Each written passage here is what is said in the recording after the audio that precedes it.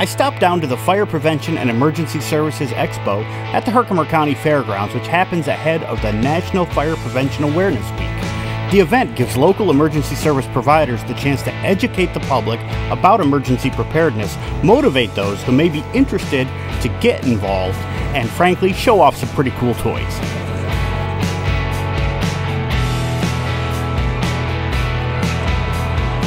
I'm Miss Bennett.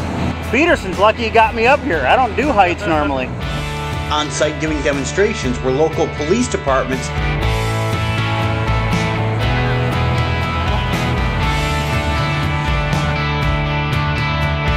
fire departments,